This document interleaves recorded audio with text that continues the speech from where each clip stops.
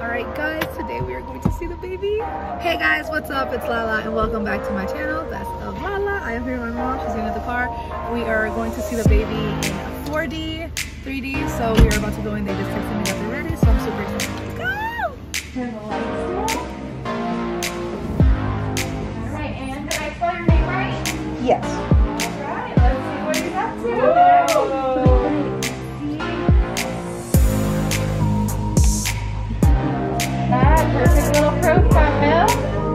Yep, perfect little lips right there. Look at that.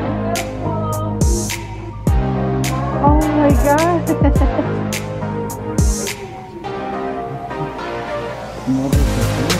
yeah.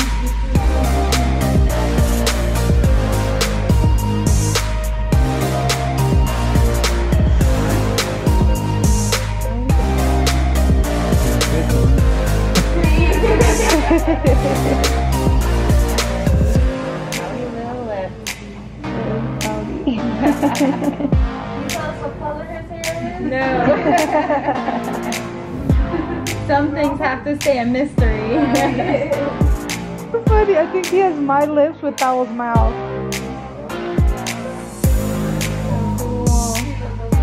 And then his little hand up on the side of his chin there. It's like, yeah. But he sleeps like me.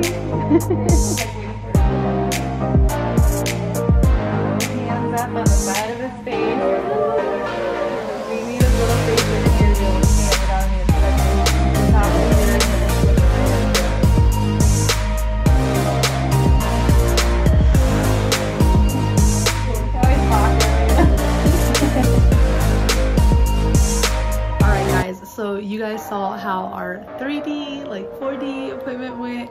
He looks so cute, so precious. He has lips. Whose lips do you think he has? Mine? or his dad's?